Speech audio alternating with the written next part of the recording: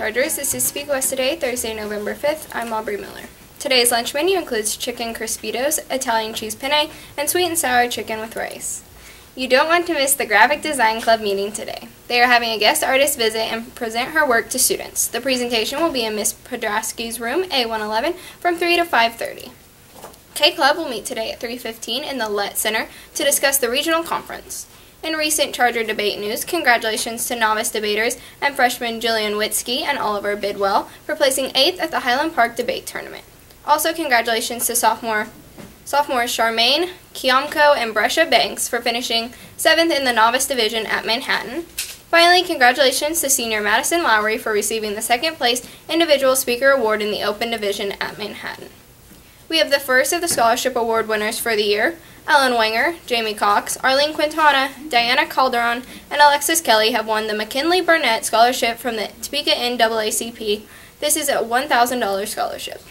Our Topeka West College Financial Aid Night will be held tonight at 7 p.m. in the band room.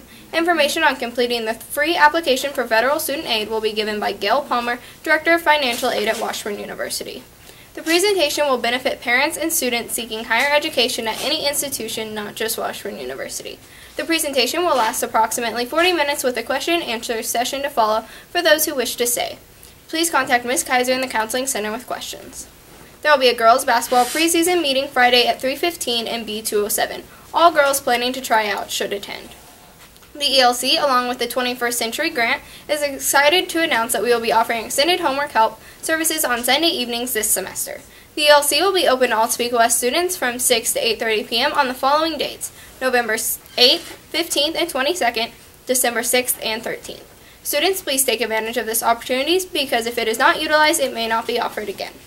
There will be a meeting for all freshman boys interested in playing basketball this season on Wednesday, November 11th at 3:15 in the cafeteria. This meeting is mandatory. If you have any questions, see Coach Metzke or Coach Hunter. There will be a parent meeting for all freshman boy basketball players on Thursday, November 12th at 7 p.m. in the gym. There will be a meeting for all sophomore, junior, and senior boys wanting to play basketball this season on Thursday, November 12th at 3:15 p.m. in the cafeteria. This is a mandatory meeting. If you have any questions, see Coach Metzke or Coach Hunter. Remember, all boys and girls who did not play a fall sport and do not have a physical on file need to do so before practice begins November 16th. No physical, no practice. The always fun and exciting dodgeball tournament is right around the corner. It will be on November 13th. All proceeds from this event will benefit Post Prom. Entry forms are now available in D Building office from Mr. Carroll or Ms. Bartow. Each dodgeball team should have at least six players, but no more than eight. Cost is $5 per player. You must be at least of high school age or older. Adults are welcome. Entry deadline is November 12th.